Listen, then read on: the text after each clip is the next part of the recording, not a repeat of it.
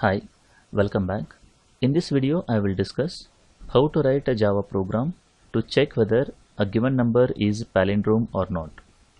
Now, if you want to check whether given number is palindrome or not, first we need to find out the reverse of the number. If the reverse is exactly equivalent to the original number, the number is palindrome, otherwise it is not. So first uh, what we do is uh, we will initialize uh, reverse is equivalent to 0 and then we will read a number from the user. Let us say that uh, the number is 123 in this case. So we need to find out the reverse of 123. If it is equivalent to number, the meaning is it's a palindrome, otherwise it is not a palindrome. To find the reverse, uh, we will use this particular logic. These three steps are repeated again and again unless and until this number becomes 0 here. So first we will calculate the remainder of this particular number uh, with respect to 10 that is uh, 10 mod 10 here so we will get 3 in this case. So once we get this particular 3 we will add this remainder to reverse multiplied by 10 previously reverse was 0 so 0 plus 3 is equal to 3 reverse is equal to 3 in the first iteration.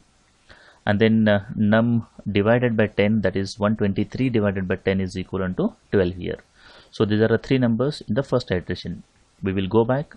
We will calculate the remainder again. That is uh, 12 mod 10 we will get 2 here reverse multiplied by 10 that is reverse is 3 multiplied by 10 that is 30 plus remainder that is 2 it will be equivalent to 32 here. And then uh, num divided by 10 that is 12 divided by 10 is equal to 1 so these are the three numbers we got in the second iteration.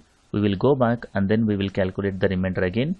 That is 1 uh, mod 10 is equal to 1 reverse multiplied by 10 that is 32 multiplied by 10 is 320 plus remainder that is 1 which is equivalent to 321 num divided by 10 that is 1 divided by 10 is equivalent to 0 in this case.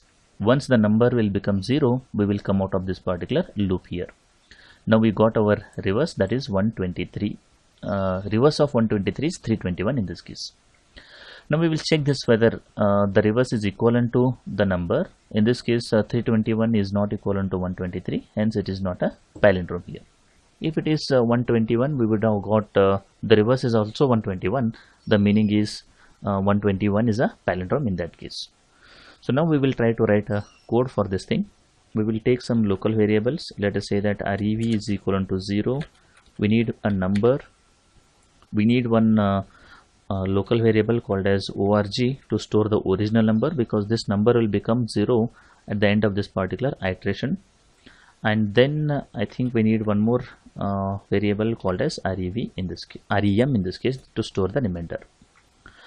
Now we will create an object of uh, scanner class so that we can read uh, something or some number from the user. That is scanner in is equal to new scanner we will pass one parameter to this one that is scanner dot in because uh, we have not included util library I will get an error here. So we will click on this one and then we will click on this uh, import two times. We will get this particular java.util.scanner here. Now we will give a, a very simple message to the user system dot out dot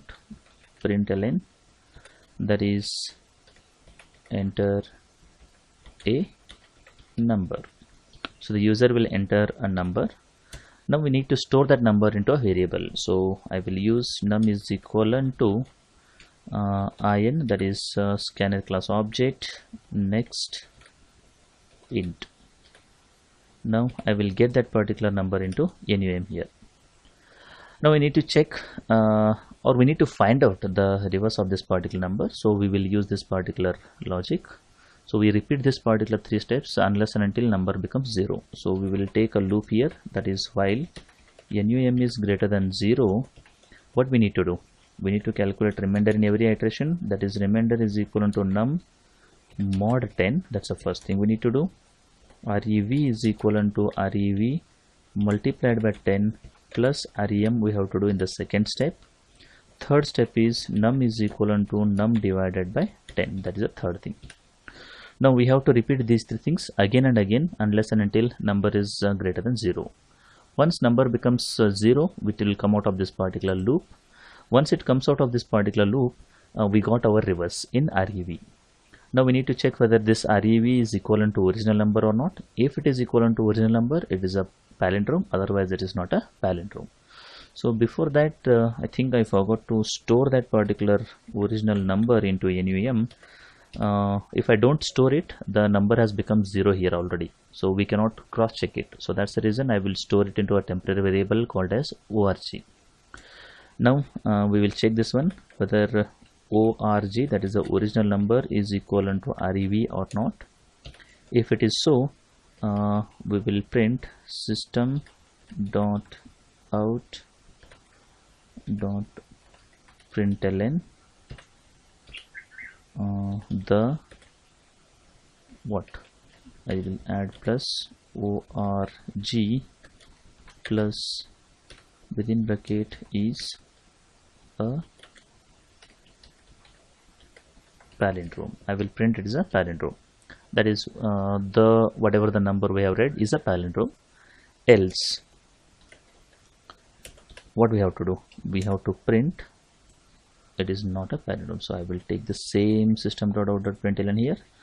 I will print is not a palindrome in this case. That is if org is not equal to rev I think we have to take double equal to here.